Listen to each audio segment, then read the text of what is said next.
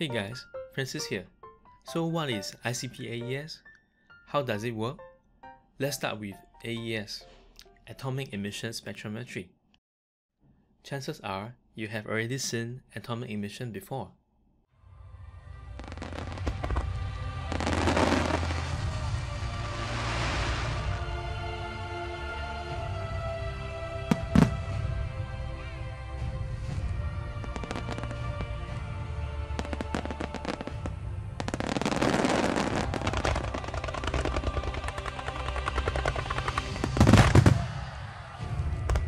Fireworks, that's atomic emission. The different colors in fireworks is due to the presence of different metal salt.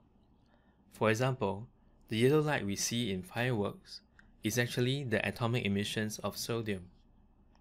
So how does AES work? In brief, AES involves three major steps.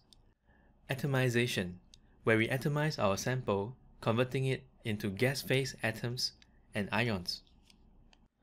Excitation, where we provide sufficient energy to promote the valence electrons of an atom from the ground state to an excited state.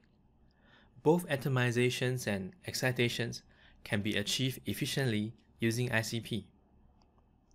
And finally, relaxation, where the excited atoms relax back to the ground state, giving up their energy as photons. This is when the atomic emission occurs.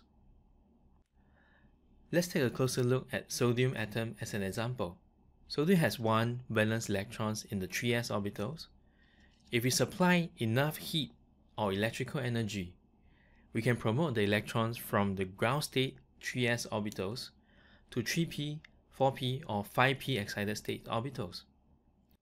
After a few nanoseconds, the excited atoms relax back to the ground state, giving up the energy as atomic emissions.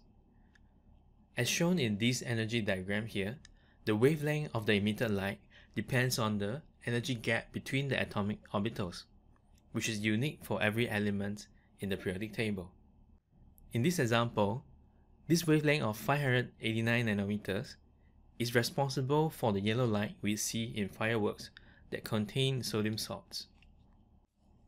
Here are some examples of atomic emission spectra of different elements. As we can see here, one element can have a set of characteristic emission wavelength. ICP-AES take advantage of the unique line spectrum of elements to identify and to quantify them.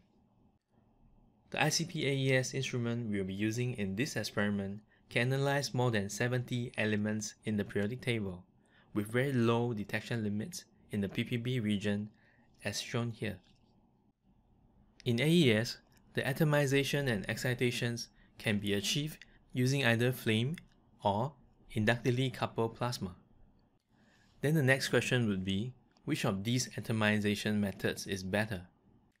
The typical atomization temperature using flame is around 1700 to 3100 degrees Celsius, depending on the fuel and oxidant we use, while the atomization temperature using ICP is around 4000 to 6000 degrees Celsius. Flame atomizer are usually used in AAS and AES, while ICPs are used in AES and mass spec. When it comes to AES, ICP atomizer is usually preferred over flame due to the much higher atomization temperature of ICP. But why is it so? This is because the emission intensity depends on Boltzmann distribution. According to Boltzmann distribution, the ratio between the population of the excited state and the population of the ground state can be calculated using this equation, where Gj and G0 are the degeneracy of an excited state and the ground state respectively. Delta E is the energy gap between the excited state and the ground state. K is the Boltzmann constant, and T is the temperature in Kelvin. At room temperature, the population of the ground state is close to 100%, while the population of the excited state is close to 0%. In fact, most atoms are found in the ground state even at a high temperature flame. What this means is, if you are looking at atomic absorption, there's no problem since the ground state is already highly populated. However, if we are looking at atomic emission, we need to find a way to increase the population of the excited state. This can be achieved by increasing the atomization temperature. Let's take a look at sodium atom as an example. For sodium atoms, the energy gap between the 3p and 3s orbitals correspond to an emission wavelength of 589 nanometer, which can be converted to joules easily. The degeneracy of the 3p and 3s quantum states are equal to 6 and 2 respectively.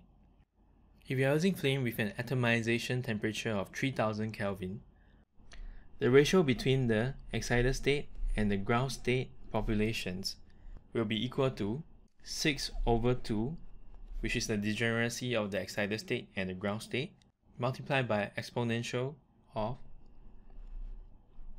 negative delta E over the Boltzmann constant multiplied by 3000 Kelvin and we will get the ratio to be equal to 8.75 multiplied by 10 to the power minus 4. So what would the Boltzmann distribution be if we were to use ICP with an atomization temperature of 6000 Kelvin? You may pause this video for 2 minutes now to try out the calculation. Welcome back. As we can see, simply changing the atomization temperature from 3000 Kelvin to 6000 Kelvin results in a 58 times increase in the excited state population, hence achieving a higher sensitivity in the case of sodium atoms. That's why when it comes to AES, ICP atomizer is usually a better choice than flame atomizer. Now that we understand how AES work, the next question will be, what is ICP? How does it work? See you in the next video.